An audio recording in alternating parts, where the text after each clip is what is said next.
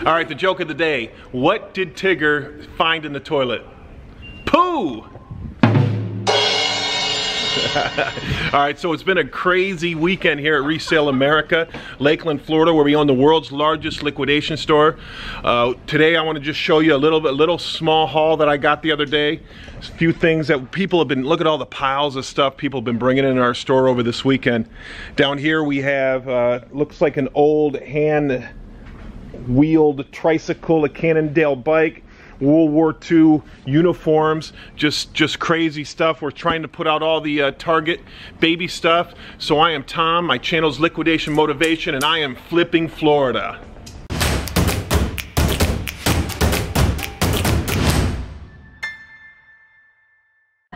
Hey guys, welcome to my channel, Liquidation Motivation, where I'm flipping Florida and I'm trying to teach people how to make money off buying and selling stuff on Amazon, eBay, uh, Marketplace, all the, the different places you can make money in this world. So I got a small haul here I just want to show you real quick.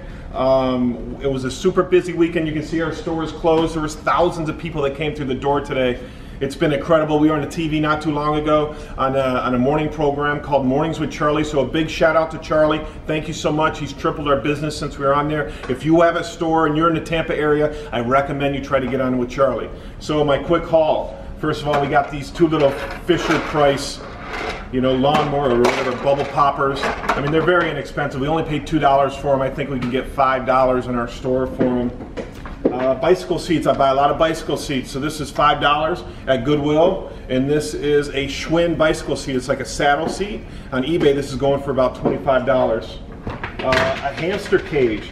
I went to a auction and somebody threw this out on the sidewalk, so I picked it up. I can get about $10 out of it. I got it for free. I'm not afraid to go into dumpsters, to find garbage, to, to, to get money wherever money's not normally found. Don't be afraid if you're in this business.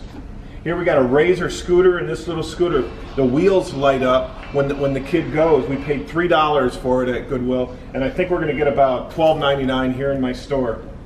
Uh, this bicycle, look at this bicycle here. So it's a Kent bicycle, Kent Chaos. I think in the store it's about 80, 90 bucks. I paid $17. I'm gonna get 40 bucks in my store out. Of it. It's in great condition, so from 17 to $40. Next I have some shoes. I went to half price day at the Salvation Army every Wednesday, half price day. Cleats were $7.99. I got them for $4. These things will bring about $35 on eBay right here. Now look at these Converse, brand new leather Converse. I don't know if they're leather or pleather. $12.99, so half price. So I paid $6.50 for these. Looking them up, they've never been worn. I'm getting about 40 bucks on eBay for stuff like that. Another pair of cleats I paid $3 for. These will probably go in my store for $12.99. Small pair of Under Armour sneakers. They were only $1.50. I'm gonna put them on for $14.99. Try to blow them out. Another cheap pair of cleats, only $3. $12.99 in my store. And then another pair of Nike soccer cleats. What do we pay for these? Uh, four bucks. I think they're worth about $14.99. I got a few things of clothing. I always go through the jackets. Remember, go through the jackets. The advantage we have that other people don't have is we look things up in our store, but they don't have that luxury at, at Goodwill or Salvation Army. So they price everything the same price. All the jackets the same price. All the baseball bats the same price. All the gloves, all the expensive, all the cleats, everything they price the same price. That's their strategy. And then we, the buyers, the flippers come in and we look for the arbitrage. We look for how they made a mistake. So these are a few things I think they made a mistake on. So for $3.98, I got this really nice Adidas jacket. I'm gonna put this on eBay for $24.99 or best offer. It's a female's extra large, 25 bucks. Uh, here is a fleece jacket, a Nautica fleece jacket, $3.98. I think they messed up on that price. I think I'm only gonna be able to get about the same thing, $24.99 or best offer on eBay. Next, I have an Old Navy pea coat. I love pea coats. For some reason, anytime I get a pea coat, it sells fast, sells super fast. $3.98. This is gonna do $29.99. And then final piece of clothing I got, $6.98. This is a sport coat, a Ralph Lauren sport coat, but it's corduroy. So I always look for the camel hair, the corduroy, the uh, uh, you know any high-end fiber that we can find 100% wool cashmere those are the only coats I buy You know, then I look for a good name within it. So this is $6.98. I'm gonna put it on for $39.99 or best offer on eBay. Uh, a set of Bose speakers. So these are the 301 Bose. You look them up. Look them up right now on eBay. They're $100 on eBay. I paid $29.99. Bose 301 speakers. I set it to. I got a little bit, a little bit of damage on here, but I can easily put some glue on it and fix it up.